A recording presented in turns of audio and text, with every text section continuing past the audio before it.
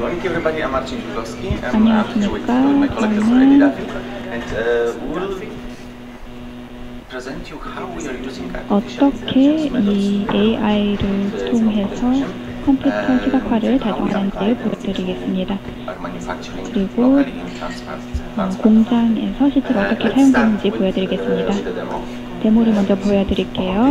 이쪽 화면에는 두 개의 패널이 있는데 카메라가 있습니다.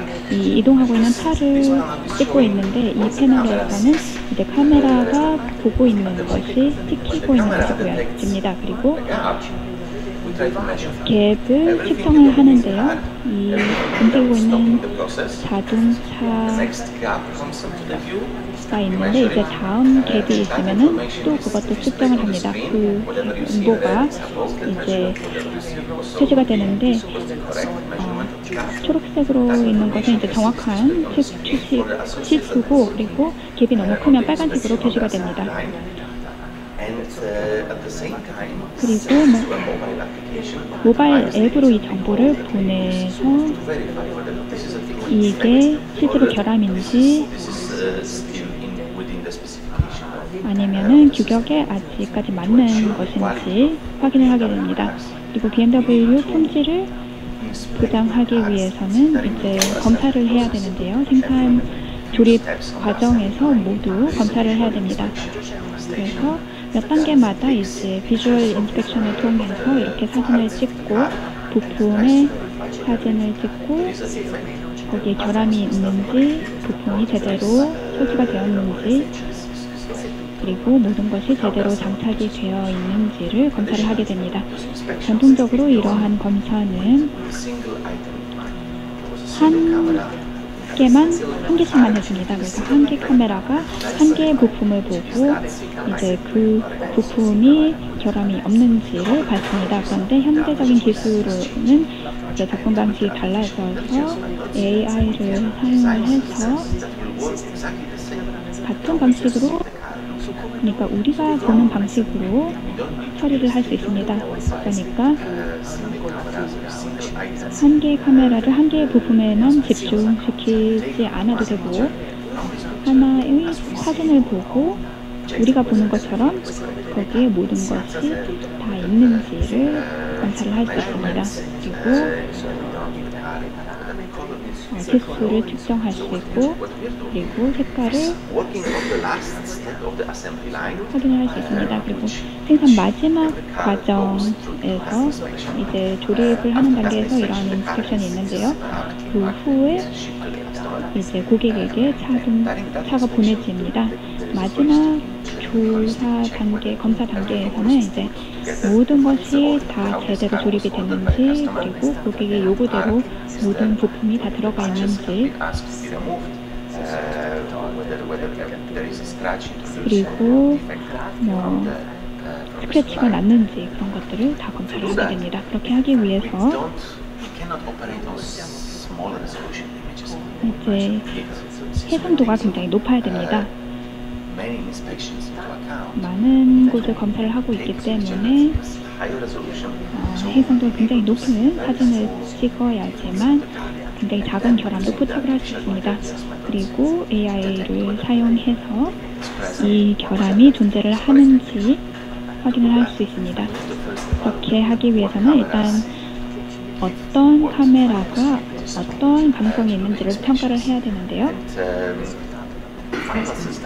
그리고 마지막 시스템은 고해상도 카메라와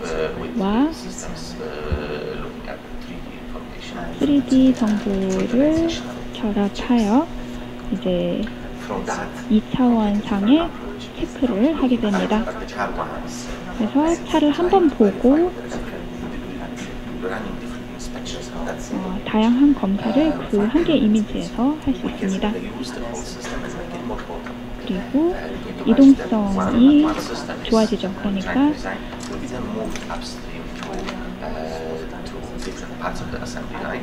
어, 다른 생산 라인에서도 이런 방법을 적용을 해서 빨리 결함을 찾고 아직 생산 라인에 있을 때 그 문제를 고칠 수 있습니다. 그러면 이제 고객에게 빨리 제공을 할 수 있고 또 추가적인 지연이 필요 없게 됩니다.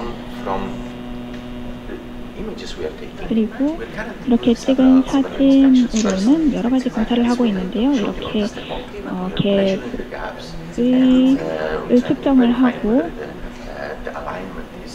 uh. 그게 제대로 배열이 되어 있는지를 보고요. 그 다음에 또?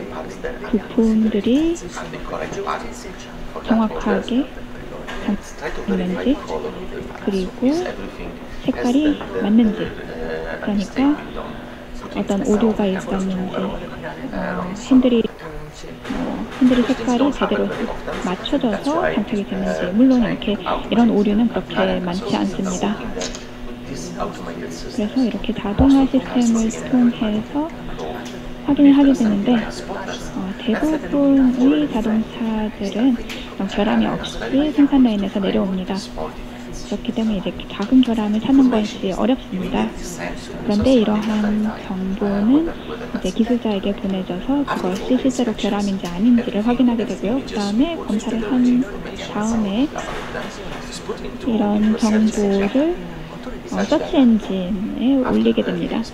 그래서 검색을 하고 난 다음에 이제 어떤 검사가 이루어졌는지 그리고 이 차가 어떻게 구축이 되었는지 그 절차를 분석을 하고 또 어떤 문, 결함이 자주 발견이 되는지 그런 것들을 여- 분석을 할 수 있습니다. 그리고 조립 라인 전체적으로 이제 문제가 어디에서 발생이 하는 되는지를 볼 수 있습니다.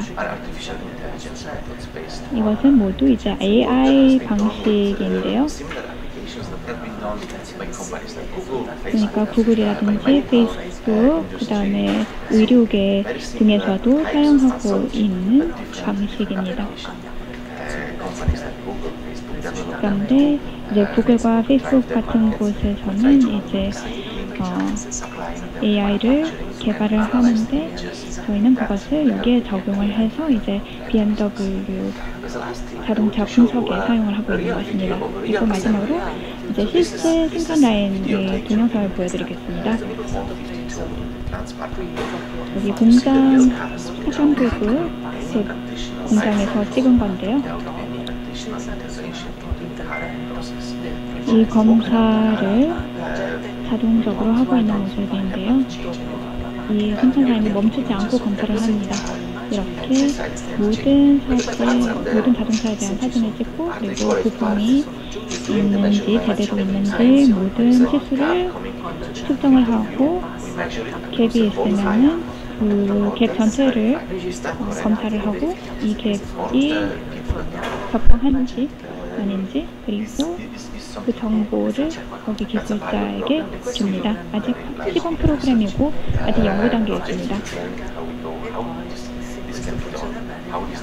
이것을 또 생산 라인에 이제 다른 곳에 어떻게 적용을 하게 될지 연구를 하게 될 텐데요. 그리고